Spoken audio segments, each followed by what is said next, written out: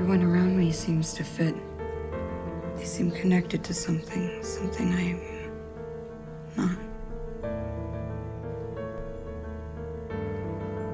It's like I have no past. Try and understand your importance, Mira. You're what everyone will become.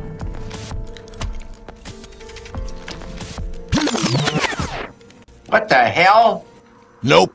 Nope.